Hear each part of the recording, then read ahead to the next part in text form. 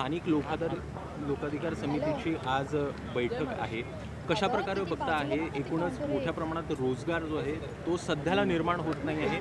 याकडे कसं बघता आहात आपण? ही नुसती बैठक नाही आहे. सुवर्ण महोत्सवी वर्ष आहे. आणि सुवर्ण महोत्सवी वर्ष आहे याच्यात माझ्या वेगळ्या दृष्टिकोनातून आठवणी पण आहेत. मी त्यावेळेला पत्रकार होतो इकॉनॉमिक टाईम्समध्ये होतो ज्यावेळेला स्थानिक लोकाधिकार समिती स्थापन झाली आणि त्यावेळेला मी सुधीर जोशींचा तुमच्यासारखा एक पत्रकार म्हणून त्यांची मुलाखत घेतली होती. कीर्तिकर सुद्धा त्यावेळेला त्यांच्याबरोबर होते. आणि त्याच्यानंतर त्यांच्या ज्या L I C Air India अशा ठिकठिकाणी त्यांच्या ज्या बैठका झाल्या आंदोलनं झाली निदर्शनं झाली त्या सगळ्या मी पत्रकार म्हणून कव्हर करत होतो.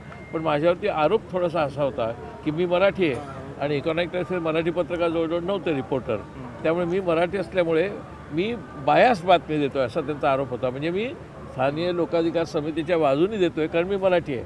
कारण आमच्या ऑफिसमध्ये सुद्धा जवळजवळ ऐंशी टक्के सगळे दाक्षिणात्य होते.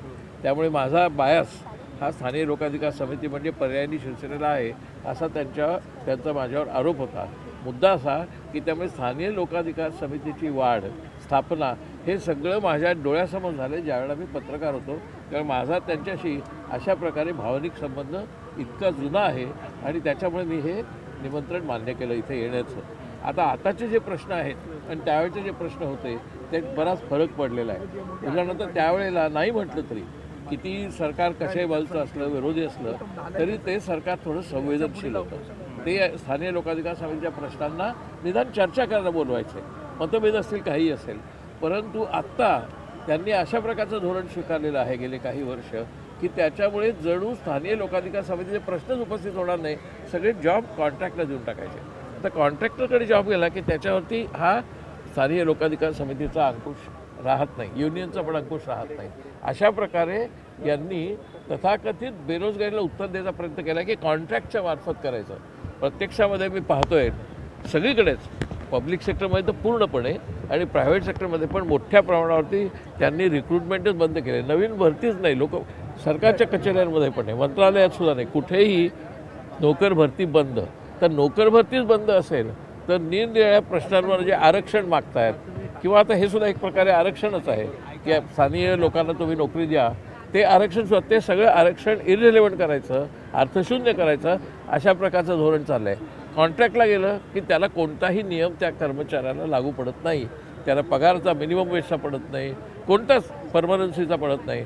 आणि त्याच्यामुळे एक प्रकारे सगळ्या एकूण उद्योगधंद्याचं व्यापाराचं सरकारी नोकऱ्यांचं खाजगीकरण चालू आहे आणि ते खाजगीकरण झाल्यामुळे कॉन्ट्रॅक्टर श्रीमंत होतात कामगार अधिकाधिक गरीब होतो कर्मचारी अधिकाधिक गरीब होतो त्याला महागाई भत्त्याचा भरोसा नाही कशाचाच भरोसा नाही. त्यामुळे आता हे जे राज्य आहे हे नुसतं भांडवलदारांचं राज्य नाही आहे हे कॉन्ट्रॅक्टर्स भांडवलदारांचं राज्य आहे. म्हणजे कॉन्ट्रॅक्टर्स आणि भांडवलदार म्हणजे ही जी यांनी एक नवीन तैनाती फौज तयार केलेली आहे ही तैनाती फौज आता आपल्यावर राज्य करते. आणि त्यामुळे स्थानिक लोकाधिकार समितीला आता नव्याने वेगळ्या पद्धतीने आत्ताच्या परिस्थितीत संघर्ष उभे करावे लागणार आहेत. आणि त्याला माझा पूर्ण पाठिंबा असेल तो व्यक्त करण्यासाठी मी आज इथे आलेलो आहे. दुसरीकडे बघायचं तर महाराष्ट्रातली कायदा आणि सुव्यवस्था देखील कुठंतरी डगमळली आहे का? असं प्रश्न जे आहेत ते निर्माण होत आहेत. निखिल वागळे जे आहेत त्यांच्यावर देखील कुठंतरी हल्ला झालेला आहे. सोबतच मोठ्या प्रमाणात गोळीबारांच्या घटना देखील पुढे येत आहेत. या एकूण कायदा आणि सुव्यवस्थेकडे तुम्ही कसं बघता आहात? एकूण माझ्या मते फक्त महाराष्ट्रात नाही देशभरच कायदा सुव्यवस्था पूर्णपणे कोसळलेली आहे.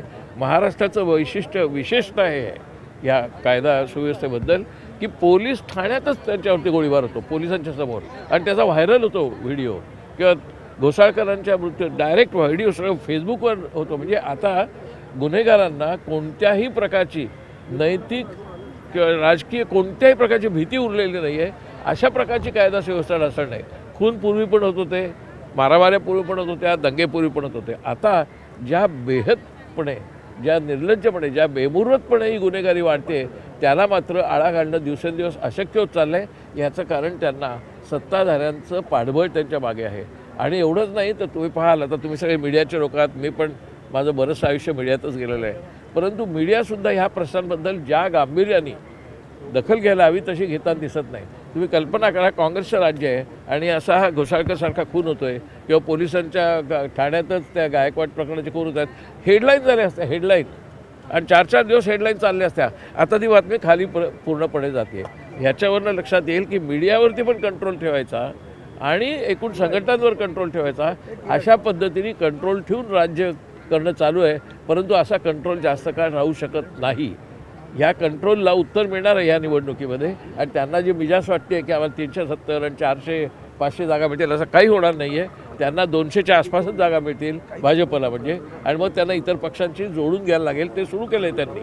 परंतु याचा अर्थ असा नाही की त्यांना अशी दादागिरी करून मीडियावर कंट्रोल करून पोलिसांवर कंट्रोल करून प्रस्थापित पुन्हा राज्य करता येईल ते करता येणार नाही. जर श्वान हे आमच्या गाडीखाली येऊन गेले तर त्याचं जबाबदार आम्ही कशाने असं हे पहिल्यांदा म्हटलं आहे मोदींनी. त्याच्यानंतर हे गृहमंत्री म्हणत आहेत हे प्रथम मोदी म्हणले होते की पा आमच्या गाडीखाली जर कुत्रं येऊन मेलं तर आम्ही आणि त्याच्यामुळे त्यांच्यावर तेव्हाच टीका झाली होती. हे तर त्यांचं दोन हजार चौदाचं विधान आहे. त्याच्यामुळे हा ह्या विधानामधनं त्यांचा बेमुरतपणा आणि असंवेदनक्षमता आणि लोकांविषयीची पूर्णपणे बेपरवाई म्हणजे तुम्ही लोकांना ज गाडीखाली येणाऱ्या जनावरासारखे वापरताय किंवा वागताय किंवा त्याचा अर्थ तुम्ही तसा करताय की लोक मेले काय आणि जनावर मेले काय? खरं म्हणजे जनावरसुद्धा मारता कामा नये अमेरिकेमध्ये सारख्या प्रगत देशांमध्ये जरी एखादा कुत्रा जर मेला एखाद्या वाहनाखाली तर त्याला कठोर शिक्षा आहे त्या वाहन चालकाला. आपल्याकडे असं म्हणायचं की वाहन चालकांच्यावरती काहीच संबंध नाही. माणूस मरो नाही तर कुत्रा मरो. किंबहुना माणूस आणि कुत्रा ह्यांचीच त्यांनी तुलना सुरू केलेली आहे. हे अत्यंत निषेधार्ह आहे. परंतु ह्या निषेधाला आपण प्रत्यक्षात स्टेटमेंट काढण्यापलीकडे काही करू शकत नाही. मीडिया काही दाखवत नाही. त्या पार्श्वभूमीवरती आता निवडणुकीतच यांना उत्तर मिळेल. सर राज्यसभेची देखील निवडणूक आहे. कशा प्रकारे बघता आहे काँग्रेसकडनं एक जागा लढवली जाणार आहे की दोन जागेसाठी देखील प्रयत्न जो आहे तो महाविकास आघाडीकडनं केला जाईल? खरं म्हणजे मला ह्याच्याबद्दल खरंच काही माहिती नाही पण तुम्हाला कदाचित पटणार नाही कारण मी काँग्रेसचा आत्ताचा खासदार आहे दोन एप्रिलपर्यंत.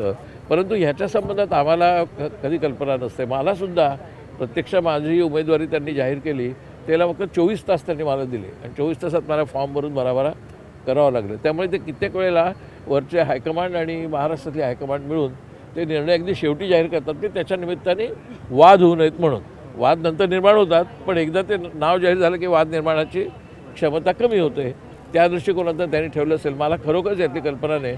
मला मी फक्त केव्हा निवृत्त होणार आहे माहिती आहे. Thank you sir